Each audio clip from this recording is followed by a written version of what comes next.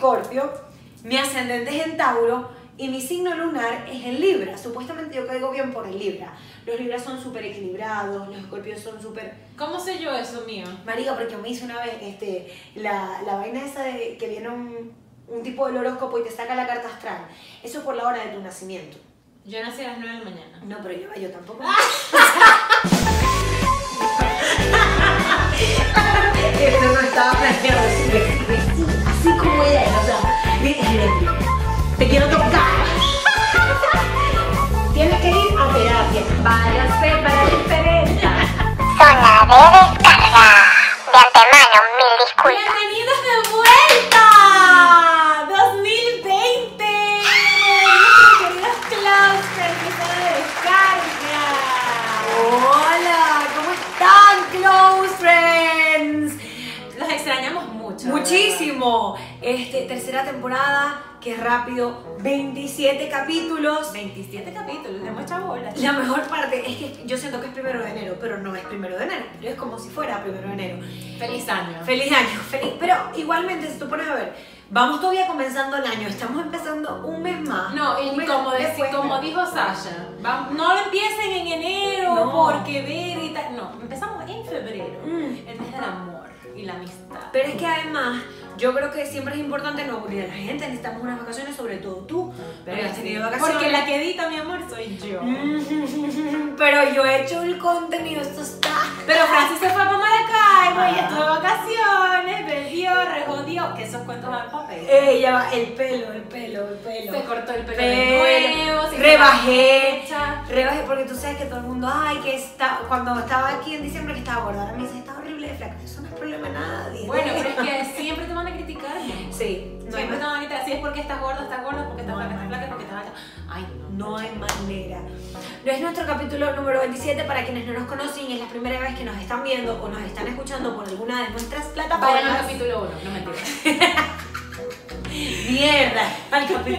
Marica, es un es una No vayan al capítulo 1, ¿sabes? Esa vaina da miedo. Mi nombre es Francis Villamil. Y mi nombre es Katherine y esto es Zona de Descarga. Muchas gracias por escucharnos primeramente y muchas gracias por seguirnos en nuestras redes sociales. eh, arroba Zona Descarga Piso en Instagram, Twitter y Facebook y Zona Descarga en YouTube, Spotify y Apple Podcast.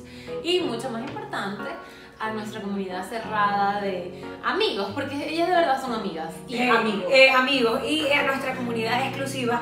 Patreon.com, nuestros patroncitos, patroncitas que mantienen nuestra capilla online. Aquí vamos como María Gabriela Chávez, vendedora de catálogos de agua. No, para quienes no sepan, nosotras estamos en patreon.com. De esta manera, en verdad, eh, pueden apoyar la idea que es zona de descarga. Les va a salir aquí abajito. Catherine va a hacer el trabajo audiovisual. En Patreon nosotras cobramos, o bueno, para poder mantener el podcast, 5 dólares mensuales, 2 dólares. Por 2 dólares lo puedes escuchar más temprano, por 5 tienes contenido extra. Y por 15, bueno, te resolvemos la vida y en verdad lo hacemos. ¡Ey! En verdad lo ¡Ey, hacemos. es en serio! Es Yo me fajo. Es como, es como una terapia. Es como una terapia personalizada, sí. Ustedes tienen un chance de hablar con nosotras face to face. Pero realmente les queremos dar las gracias a todos los Patreons, en verdad esto es súper importante y obviamente a todas las personas que nos están escuchando porque, o sea, ahorita estamos viendo en verdad eh, los frutos y, y cada vez en verdad son más Patreons y nosotras en verdad nos hace muy feliz. Gracias por brindarnos este café que nos estamos un tomando. cafecito y una tortica que nos acabamos de comprar. Gracias a ustedes. Gracias a Patreon. Y el estacionamiento. Francis, antes de comenzar con nuestro capítulo de hoy que se llama Alineando Chakras, Tan, tan, tan, tan. vamos a hablar un poco de nuestras vacaciones, ¿no? Porque Claro, porque a la gente le gusta. No, y porque en verdad la gente no sabía dónde carrizo estábamos. Hay gente que nos está escuchando por primera vez. Espero yo que nos estén escuchando por primera vez. Eh, bueno, mis vacaciones. Yo me fui a Maracaibo, Uh. a mi ciudad de origen. Yo, en verdad, tenía que un año sin ir. No, no tenía un año, tenía casi como unos 10, 11 meses. Lo primero que le quiero dar las gracias es a todo el montón de chamas que nos saludaban y le enviaban saludos a Katherine. O sea, en verdad, yo lo agradezco porque tú sabes que, obviamente, a veces, no voy a decir a todo el mundo, a uno le cuesta como que, que la gente te diga, como sabes, lo estás haciendo bien, pero era súper lindo llegar y me dijeran, hey, o sea, obviamente yo borracha. Franci, o sea, ¿cómo Qué estás? Soy de tus close friends. Obviamente yo borracha, hecha mierda.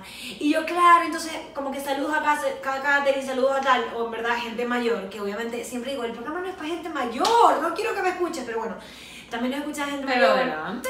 No, adelante, era como que lindo.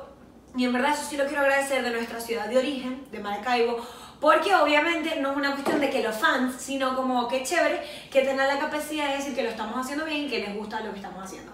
La pasé súper bien, o sea, eh, yo estaba princesa comunista, eso me cayó muy bien, yo en verdad soy muy familiar, extrañaba mucho a mi familia. No pude ir a la playa como tal porque no había gasolina, entonces bueno, obviamente las cosas en ese sentido se complicaron a nivel turístico. Pero, loco, o sea, todo el mundo, ¿sabes que todo el mundo, yo lo dije en las historias, todo el mundo me dice que, que estoy más bella, que tengo un hombre. No, era que en verdad estaba en familia y yo creo que lo necesitaba. Estabas en tu máximo esplendor, de verdad. Estabas en tu, en tu, en tu sitio. O sea, porque obviamente tú, cuando tú estás aquí tan solo, tú necesitas a tu familia. Y, obviamente- claro. y eso es como que tú haces como, tú haces un respiro y no sé, te pones más linda. Y obviamente te inviertes dinero a ti misma. Ah, no, claro, las mechas que yo no he podido hacer. Por cierto, que las mechas me las pagó una Patreon. Yo te conté eso. Cuéntame. Dani, este, una de nuestras Patreon, que además ella es amiga mía y amiga tuya. Y entonces yo llego ahí a la peluquería como con 10 dólares. Y yo, bueno, yo con esto me lavo el Con 10 pelo, me no jodas. seco.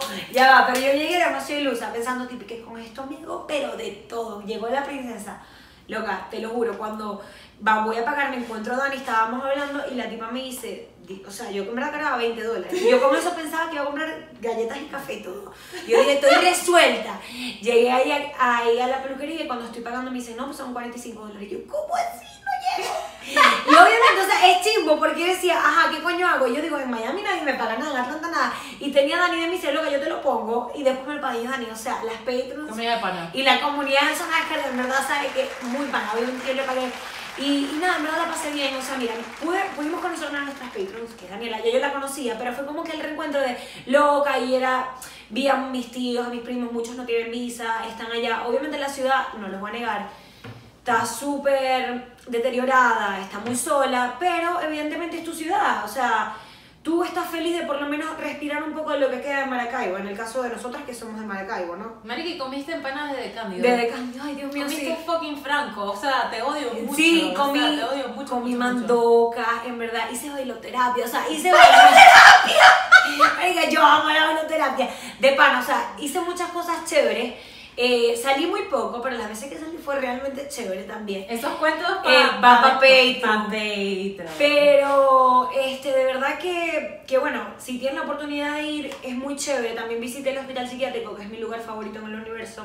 Para quienes no saben, yo he trabajado en el hospital psiquiátrico. O sea, hice como muchas cosas chéveres. No es la Maracaibo que uno está acostumbrada. O sea, hay muy poca gente. Pero, obviamente, estaba muy feliz de estar allá y de poder pasar mis vacaciones allá. No sé cuándo pueda volver. Uno nunca sabe porque porque bueno, porque uno está aquí, estás haciendo tu vida, pero por lo menos pude ir esta vez y me, me sentí súper contenta y súper acompañada y feliz de poder ver a las personas que quedan allá, porque allá igual, Sí, dentro de todo, quedan, queda vi a tus padres también, o No, sea... Francis, o sea, mejor amiga de mi madre. O sea, se iba todas las tardes para allá a tomar café, comer galletas. Conocí a tu hermana. Conocí a mi hermana. O sea, Greta, saludos a Greta. Fue, fue súper chévere. Cuéntame tú qué hiciste aquí en el frío, porque el frío está inmamable. Congelar, pero si supieras que gracias al calentamiento global, no mentira, este, no hizo tanto frío en diciembre. Mm. Fue como más, menos, sí, eran como unos 18, 16 grados. Una no pregunta, eran tus primeras vacaciones solas, ¿no? Eran mis primeras navidades Sola. eh, sin, mis, sin mi familia, pues sin mis padres, sin mi hermano, sin mis sobrinos, sin nada. En mucho tiempo. No las primeras, primeras, primeras, pero sí las primeras en mucho tiempo. Y fue porque, ajá, bueno, ustedes saben la situación económica, mis papás vienen ahorita en, en mayo porque este, mi sobrino va a hacer la primera comunión y, ajá, entonces dijeron, o vamos en diciembre o vamos en mayo, Claro. porque no hay para las dos cosas, eso es así.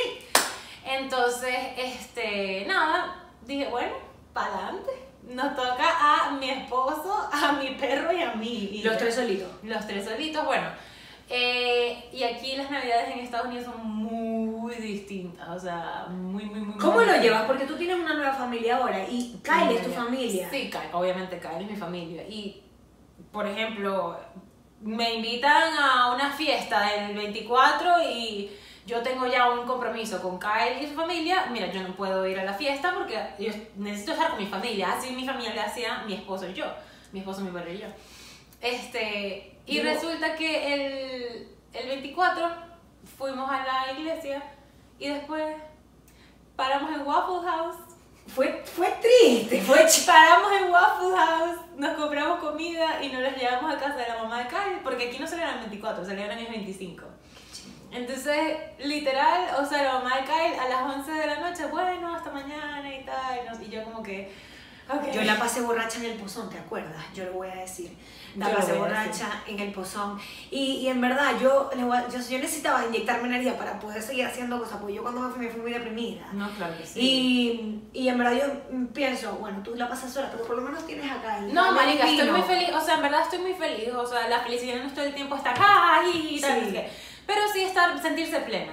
Entonces yo dije, relación, la familia de Cal son cristianos de aquí, cristianos, cristianos, cristianos que ellos no toman, pues, ellos no, no, no consumen bebidas alcohólicas.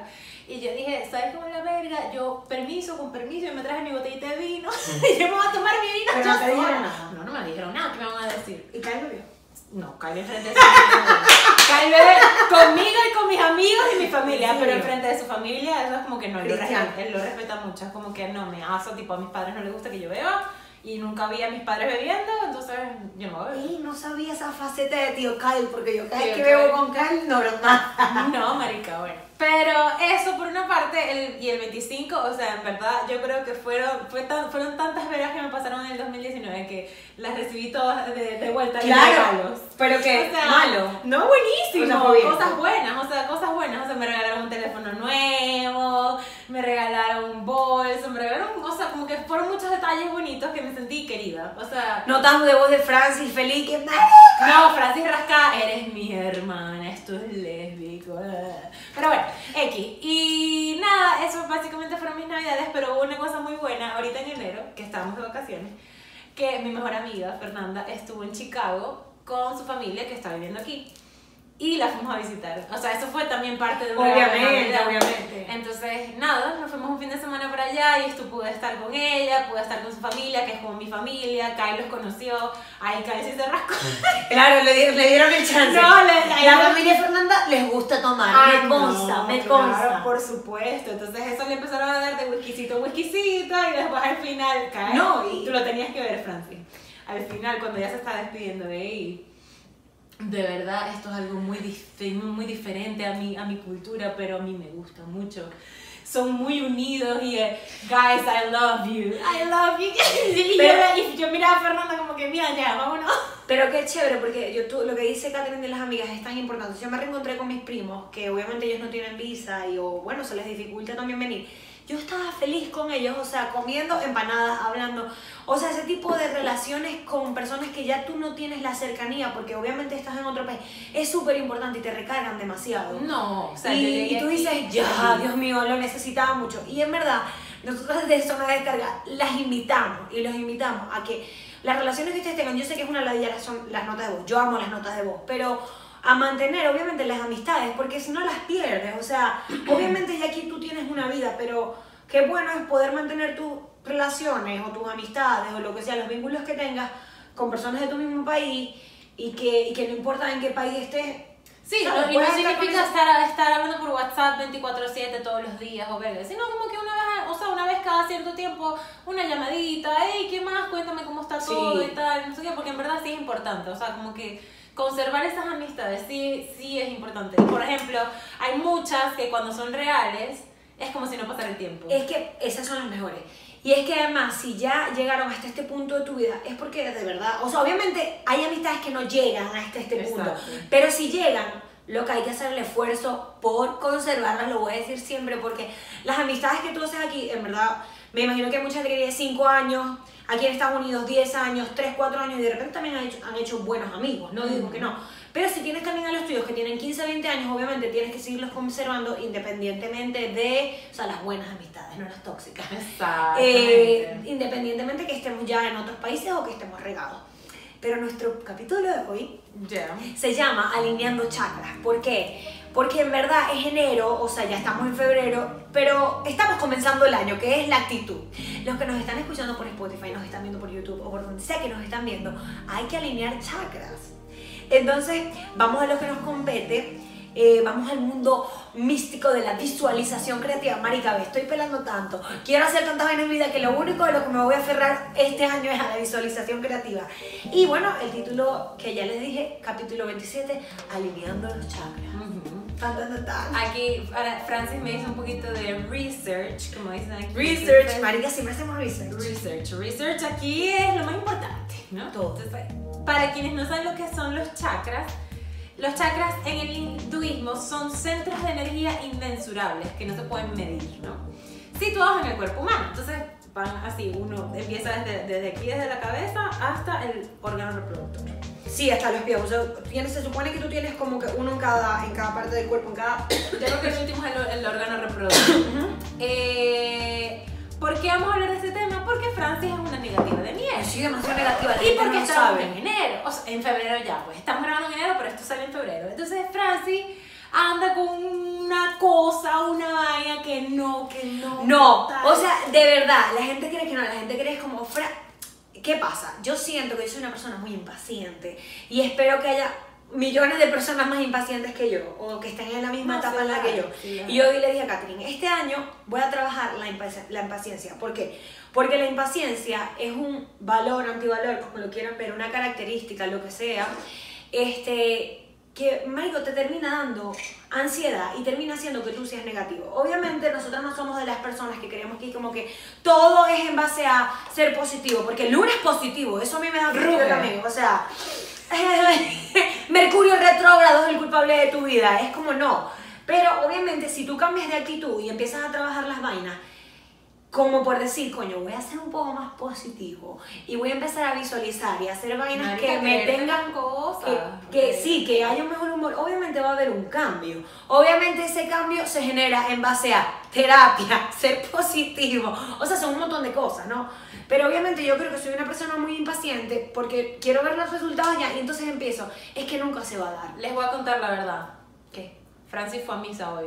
¡Ay, sí, sí, sí! Ajá. Y por eso es que está hablando de la De- paciencia. A ver, la paciencia, ajá. Bien, porque ahí iba a llegar. Resulta, ustedes saben que yo no voy a misa, yo soy una tipa toda y soy el universo. Pero digo, Katherine me va a ver en mi, en mi vaina de fotografía. Katherine, yo le digo, Katherine canta una vaina, misa, yo la quiero ir a ver. Y Katherine canta muy bien. Y yo digo, no. Y Katherine ni siquiera me lo pidió, pero yo era como que, Osana en el Francis, o sea, se lo cielo". juro que cada, canción que ella cantaba, Francis me hacía cara como que Yo, temazo. yo, marica, te- yo quería decir temazo. O sea, aparte que había unas que me las sabía. Y yo alabaré, alabaré, alabaré, alabaré. Entonces, claro, vamos a misa. Primero que yo, en verdad, como buena persona incorrecta, me enamoré del cura. Primero que el cura era bello. Y Es le, horrible. y le dije, Katherine, ¿por qué los curas no se casan? Estoy brava. Un cura colombiano que hablaba como Maluma. Yo dije, me encanta esta misa. Es horrible. Llegué, bueno, pero el cura, imagínense, el cura estaba dando este, un discurso y a mí me pareció súper interesante. Primero porque los curas tienen, en verdad, si, si la gente que le gusta ir a misa o que va a misa, que creo que la mayoría de la gente que nos escucha son cristianos, y si no, bueno, vayan. Estoy diciendo para allá a misa.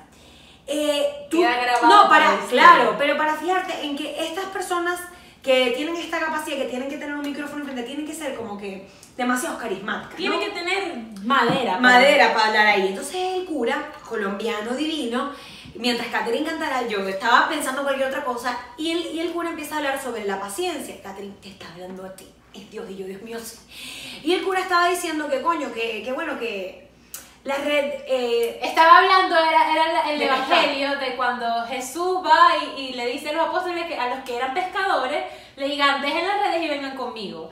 Pero, o sea, estaba hablando de lo que es la, la actividad pescar como tal. Entonces- que él nunca había pescado y cuando fue por primera vez a pescar, pescó uno la primera, o sea, la primera vez que lanzó la vaina, pescó un pescadito, así chiquitico, por lo que sea, pero lo pescó. Y a la segunda pasaron como media hora para que volviera a pescar. Exacto, entonces el tipo relaciona eso de pescar con la paciencia. Y él dice, imagínense que la segunda vez me tocó un montón y entonces, el, el, imagínense el cura, el cura dice, es que yo me siento frustrado y yo ahí lo amo.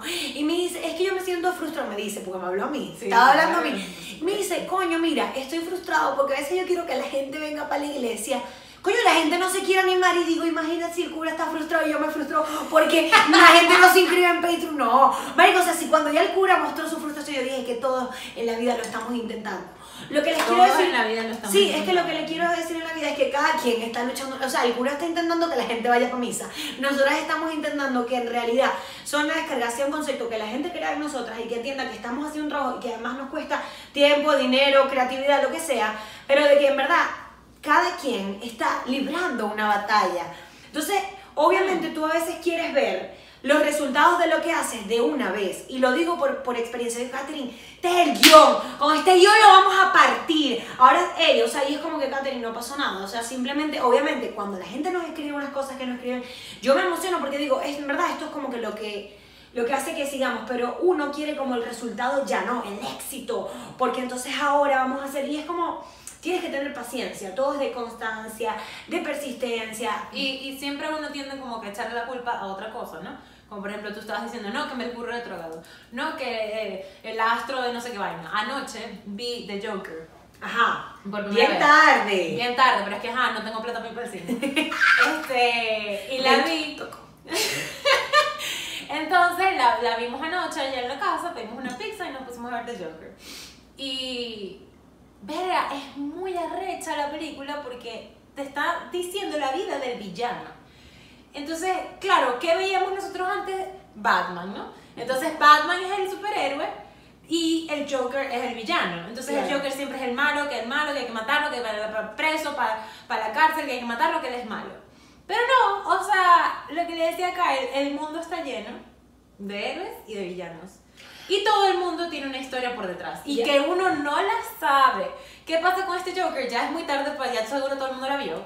El carajo tiene un problema mental. O sea, no es, él no es así porque le da la gana de ser así. Él es así porque tiene una condición. Claro, pero igual también yo aquí a nivel de cineasta, obviamente nunca, las, las personas no son planas, o sea, es decir, no es que yo estoy, estoy todos los días feliz, y hay gente que puede pensar, bueno, Francis y Catherine están felices todos los días, y se sientan y están, ¡no joda! Y es como, es ahí donde te equivocas, es ahí donde, y, y en verdad lo que les quiero decir es, con este primer podcast que estamos haciendo, que es de la tercera temporada, es que en verdad uno tiene que empezar a alinear los chakras, vamos a aprovechar que estamos en enero, no solamente es la dieta, que yo recuerdo que muchos podcasts decías, no nada más es el juice, es en verdad empezar a trabajar cosas que sean difíciles para cada uno de nosotros. Yo creo que la impaciencia, sobre todo para nosotros que nos, nos tocó emigrar, es un temazo, o sea, es como que tú quieres las cosas ya, quieres que te den el trabajo que tú quieres ya, quieres ver resultados. Si estás apostándole a un proyecto ya, si eres un emprendedor quieres ver todo ya, y es como que ya no existe. Es todo su tiempo. Es todo pescando. Imagínense un cura preocupado diciendo que se sentía frustrado.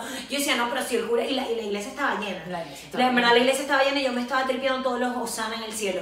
Y yo digo, coño, o sea, si el cura está preocupado, ¿qué queda para Francis Daniela? No, hay que seguirle dando. Y obviamente, este podcast es como para que ustedes vean es que todo el mundo de alguna manera lo está intentando. No son nada más ustedes que están sentados escuchándonos y que, bueno, estas están felices y ya está. Todo el mundo tiene una historia detrás de su Instagram, de su Facebook. Sí, porque además uno empieza a ver las desgraciadas redes sociales. Yo odio las redes Que sociales. las redes sociales es, es un... Es un Y tú dices, ay, ella sí lo está logrando yo no. Ese sí lo está logrando yo no. Vela, ve, ahí está. Y al final dices, pero de repente no lo está logrando porque cuando. O sea, ¿qué es lograrlo? Si te pones como. ¿Qué es lograr? Tú te empiezas a hacer esas preguntas, dices, pero, pero bueno, ¿qué, ¿qué es lo que está logrando en verdad? ¿Qué es lo que está diciendo? Mami y papi no fumamos marihuana antes de hacer esto. No, nosotras no fumamos marihuana. Y además tú, tú piensas como, ay, sí, lo están logrando, pero...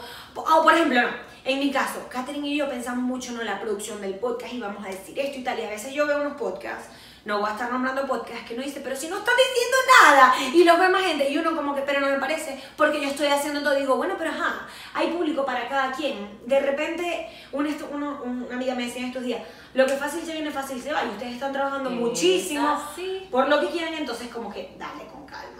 Los que nos están escuchando, tómenselo con calma, que todavía es febrero, no nos tenemos que lamentar, lamentar Con todavía. sodita, con sodita, vamos empezando, no se apresuren, vamos con calma. Y visualicen. Yo siempre le digo a Francis, Sí. visualízalo. Visualización creativa. ¿Qué es la visualización creativa en verdad? Porque estamos haciendo un podcast también tipo blogger, ¿no? Porque las bloggers siempre hablan de esto, de tú lo que quieres ser, lo logras y tal. Señor, señor, deseo 3 millones de dólares, ya los tengo. Voy a revisar después del podcast la cuenta. Ok, vale, seguí confiando. Ajá. Ajá, ¿qué es la visualización creativa? Ajá. La visualización creativa es una técnica cognitiva en la que utilizando nuestras imaginaciones nos lleva a crear una serie de imágenes mentales en la que proyectamos nuestras metas. Es decir, tú tienes un novio tóxico de mierda. Ya terminaste con él. ¿Qué vas a hacer con ese niño? Tú lo vas a visualizar bien lejos tuyo, como a 500 kilómetros tuyo. ¿Qué vas a hacer? Lo vas a bloquear. ¿Por qué? Porque necesitas cosas nuevas en tu vida. Vamos, eso es un ejemplo básico. un- Ok. Un ejemplo básico de visualización creativa. Por ejemplo, yo estaba escuchando un podcast de unas mexicanas que me encantan y ellas, habla, ellas en verdad llevaron como una gurú y todo esto de la visualización creativa. Y ella hablaba de las metas. Que a veces uno dice, cuando yo vaya a estar en Netflix, no, cuando yo vaya a estar en Netflix, no. Bueno, cuando, o sea, tú tienes como que afirmar que ya tú estás en Netflix, casi que agradecer que ya ese trabajo te lo dio, aunque, aunque no te lo hayan dado, porque supuestamente en lo que se cree es que a partir de estas visualizaciones Uno creas atrae, muchas cosas. uno O sea. Obviamente yo sé, y no les voy a venir con la paja de, o sea, lo que tú crees, o sea, yo creo que tengo 5 millones de dólares y los creo y ya los tengo en la cuenta. Es mentira. Pero evidentemente el tener una mejor actitud y el visualizar y el creer que las vainas se van a dar, te deja más cerca, o por lo menos te hace sentir mejor, porque que ladilla andar de negativo todo el tiempo. No. Y aparte que, esto es verdad, si tú estás con gente negativa, tú te sientes más cansado. Tú atraes, tú atraes, hermana. Y te lo dije el otro día. Se lo dije a ella. No andes con la que que no, que no me va a pasar esto, que no me lo va a ganar. Yo le decía a que Katherine, es que yo no que soy americana y no, todo que y me, me va, falta. me va a tocar devolverme, que no sé qué. Ya va, ya va, cálmate. Paciencia número uno. Y número dos, atrae, visualiza. Tú te ves aquí en Estados Unidos y tú lo vas a traer, tú lo vas a traer. Tú con tu energía, tu buena energía que tú estás teniendo y con la que estás percibiendo ese problema, de- eh, independientemente de cuál sea, tú lo atraes. Tú lo vas a hacer que te llegue a ti, este trabajo Me- que quieras. Me encanta, nos hemos vuelto un podcast de porquería, de visualización. De estar palo de santo. mierda. Ya Capítulo 27, vamos a lograr nuestra vaina. O sea, es que en verdad, ¿no? ya Es les digo, nosotros lo hemos intentado todo y que bueno, ahora vamos a hablar de este tipo, tipo que lo- vamos a hacer una Se sección nos de signo. Se Sección de signo. Se Sección de signo. No. Se. No, pero en serio, o sea, me parece que era importante en enero porque, chamo, yo soy súper impaciente y yo digo que soy una persona negativa. Leitmotiv negativismo, pero ¿por qué, Francis Daniela? Y entonces estoy trabajando eso porque el problema no es, o sea, el resultado es ser negativa, pero el problema no es que eres negativa, es que eres impaciente. Y eso te lleva a otra cosa. Y yo sé que la mitad de la gente que nos está escuchando es impaciente por naturaleza. Porque tú quieres las cosas ya. O sea, no es por nada, pero ¿quién quiere trabajar 20 años para poder lograr algo? Nadie. O sea, es la realidad. Claro. Hay gente que me está diciendo en estos días, ustedes lo están haciendo súper, ustedes van súper bien y tal, o como que marico, o sea, la, la van a pegar ahorita y yo, la van a pegar. Tenemos casi La van a un año de verdad escribiendo y dándole, Catherine haciendo eh, los diseños, pensando vainas, o sea, de verdad que tiene una producción, pero esto y cualquier cosa que tú te propongas, o sea, no nada más como que esto, pues. Entonces, Entonces, el ¿qué? horoscopito, el que ibas a hacer. Ah, que no, que obviamente el podcast está, yo te estaba diciendo que el podcast lo estamos llevando como un nivel todo espiritual, le tienes que meter música toda como, mm, ¿por qué? O sea, sabes como Pero ¿por qué no es llevas todos los orgasmos verdaderos? Porque soy escorpio, porque soy escorpio, porque soy escorpio. Yo, yo voy a contar algo. Usted sabe que yo en mi vida he estudiado muchas vainas y tal. De verdad que no me canso de estudiar. Una de mis frustraciones que le decía a Catherine, Catherine, qué bola. Yo a mí no me falta, o sea, yo he estudiado todo, porque coño no tenemos plata. Sí, yo he estudiado de todo. Pero bueno, esto no lo estudié, pero yo sé mucho de los signos. Demasiado, toda mi vida. Y en estos días, eh, ahorita estoy en, eh, trabajando para la universidad, para el ATV Fest, y hay un tipo que, me, que, que es mi director y yo soy la, la, la coordinadora del programa ahorita. Y me dice, ¿qué signo eres tú? Y entonces yo, no, Escorpio y tal. Y él, ya yo lo sabía, porque yo soy cáncer. Y yo, marica, o sea, cáncer va súper bien con Escorpio. Empezamos a hablar pura huevonada. Y el punto es que yo sé mucho de los signos. ¿Por qué? No sé. Marico, no sé, yo tuve una profesora en el colegio que ella sabía mucho los signos y la tipa me, me empezaba a entrar como en este misticismo y cuando tú eres chamita tú le quieres echar la culpa de lo que te pasa a los signos. Como que, ¿por qué no pegamos? Porque él es cáncer, es Géminis. Por cierto, que los Géminis es un signo de mierda. Yo, Mi alma, yo soy Géminis estúpida. pero los hombres, porque ya va, tú sabes que los signos, el peor no es que tú, na- o sea, a ver, Se abre el libro de los cielos y tenemos una gran sorpresa. Tú tienes un signo, marica, yo sé en verdad los signos ya, tú tienes un signo, de- Coño de la madre. Ah. tú sabes que tú tienes un signo Y que... después te criticando a las demás. Ah. Pero no importa, porque ahora quiero estar de moda. Ah, yo quiero ser, yo quiero estar, me quiero poner de moda, quiero ser influencer.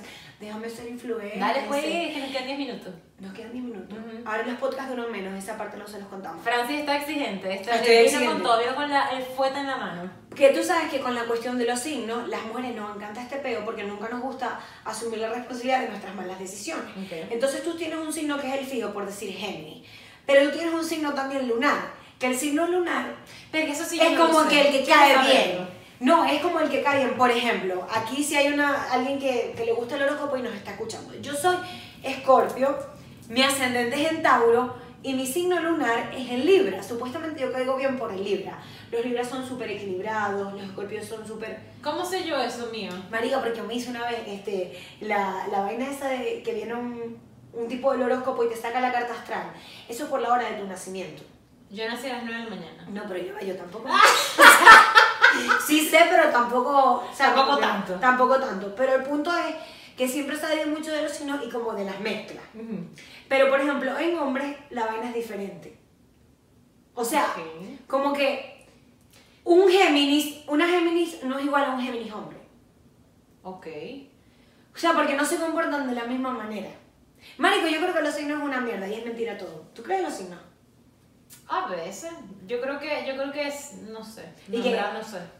Te estás como, hoy estás veces. como una Géminis. No, sí, porque a veces, o sea, porque estoy pensando, yo tuve un ex que era Géminis también. Es una mierda, ¿verdad? Es una mierda. Marica, Géminis es horrible, es el peor signo del universo.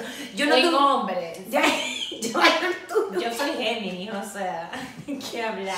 Ya va. Pero quiero saber mi ascendente en qué, en el lunes No, pero podemos buscar a alguien aquí que yo, yo te consigo quien te lo haga. qué. Patrons, ¿alguna? ¿Alguna sabe? No sé. Ya va, yo quería hacer uno de los signos, o sea, ahorita como que quería... Ajá, entonces. No, o sea, quería hacer el horóscopo. Ah, bueno, adelante. Vamos a hacer el horóscopo de la descarga. Cáncer. Ahí va. Cáncer, este, porque la luna está en Leo, te va a dar un cáncer. Entonces, el culpable es que Mercurio retrogrado está retrogradando al mismo tiempo y bueno, este mes no te va a ir bien. Piscis. ¿Qué dijo? Piscis. Marica, nada, la gente escucha mi astral y siempre ponen que entendieron todo. Este es el horóscopo de zona descarga. Piscis, el mejor signo. Piscis es un signo creativo. Que le, pero Katherine, No, yo te estoy escuchando. O sea, así. Déjame ya, es el mejor signo del universo porque es un signo creativo, un signo libro, pero sí, Piscis, deja de fumar marihuana porque está cayendo muy mal la marihuana.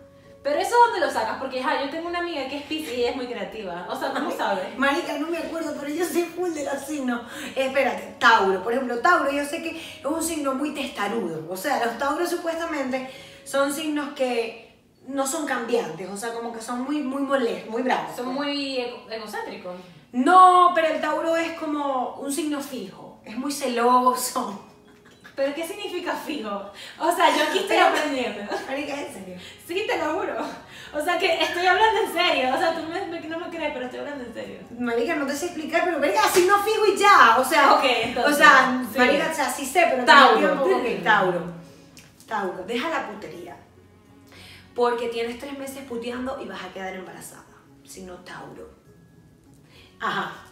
Géminis. A ver, yo Géminis. Géminis es un signo doble, cara, tanto así que son los dos gemelitos, tú te has dado cuenta. Para las Géminis que nos están escuchando, quiero que sepan que, bueno, que les va a seguir yendo muy bien en la dieta si la siguen haciendo, si no la hacen van a engordar 5 kilos, si no hagan el el blind pan como las Géminis que tengo al lado. Y para los, para los Géminis hombres, marica, los Géminis hombres son misteriosos, no los entienden. Son Siempre doble te- cara. Eso sí son doble cara 100%. Marica, Ajá. yo odio al Géminis, nada que les vaya mal. Aquí, aquí desde zona de descarga les Jódanse. que se jodan. Ah. Este, Cáncer. Capricornio. Cáncer. Ya dijimos Ya cáncer, dijiste cáncer. sí. Entonces, Capricornio. Leo, Leo. Leo, Leo es un signo inmamable, porque Leo siempre ha sido un signo súper escandaloso. Le encanta como que llamar la atención y marcar territorio. ¿Viste que estás cagada de esa Pero. ¿de dónde sacas esas vainas? María, no me acuerdo, pero yo sé mucho de los signos, espérate. Entonces, bueno, Leo, a todas las Leos que nos están escuchando, deja de salir con ese chamo de Tinder, ese chamo de Tinder no te conviene, este, métete en Hinge, que es lo mismo, pero va a ser la gente Para que te vaya bien en, en Tinder tienes que ser Géminis como yo. Escorpio, el mejor signo del universo, mi signo. Bueno, Escorpio está trabajando muchísimo este año por él o por ella misma, está trabajando su impaciencia. Escorpio es un signo eh, súper fuerte, súper sexual, le encanta el sexo. Escorpio, bueno, tienes que salir a la calle para que te den lo que tú quieres, porque si no sales, no te lo van a dar. Lo que no se, no, lo que no se exhibe no se vende. ¡Épale! Lo que no se exhibe no se vende. Escorpio. Sabes que yo para ser escorpio no me, no me exhibo tanto. No, chica, por eso. Por eso. Yo me debería de Toma tu mismo consejo. Hay que alinear los chakras. Alinea su chakra y vaya a pero por favor, le metes una canción toda. Sí, no, ahí está.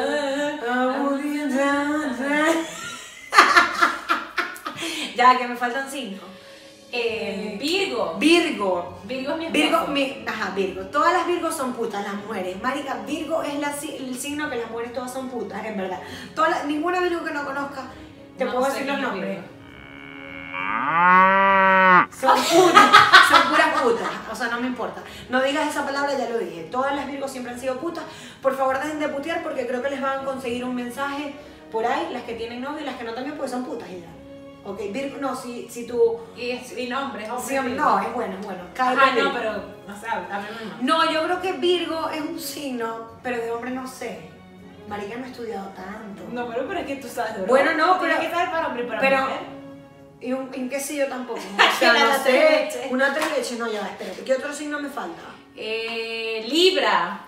Libra, fíjate, Libra es un signo. Libra, fíjate, es un signo sumamente equilibrado. Los Libras no les gusta la pelea. Ellos siempre están como intentando ¿Qué llevar mes es ese? el acuerdo. Eso es octubre.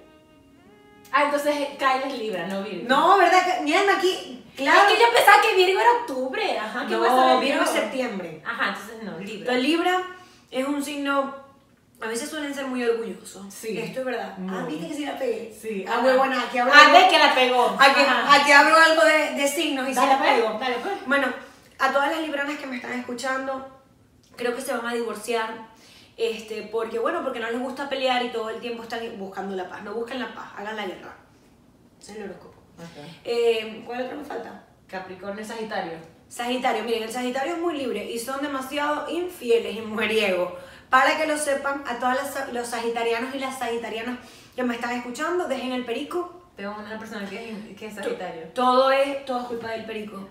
Uy, todo es culpa del perico. Les digo, los, los sagitarianos son súper periqueros, son muy libres y lo que les gusta es la promiscuidad todo el tiempo. Mosca, mosca ahí, Sagitario, tú que me estás escuchando. ¿Qué signo me falta? No, ya estamos, estamos fuera del tiempo. Mentira, ya, Ya, se acabó. Ok.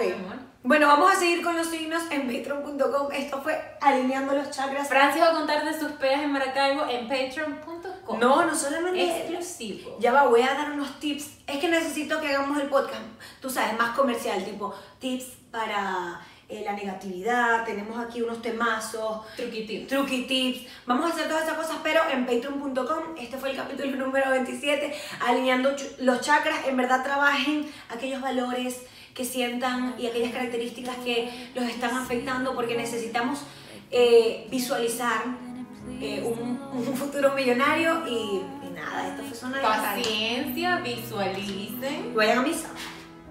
A- Dios mío, no lo dije, Catherine, lo dije yo. Dios te Pero todo está tan bueno. Seguimos. ¿La puedes poner de cer- de cerrar? Aleluya. Temas posan en el cielo. ¡Ah, sí canta! ¡Sí canta! Chao, queridos. Nos vemos la semana que viene. Gracias por escucharnos. Y seguimos en Patreon, la conversa. Chao, chao. Chao. Más, salí y ponerlo vos,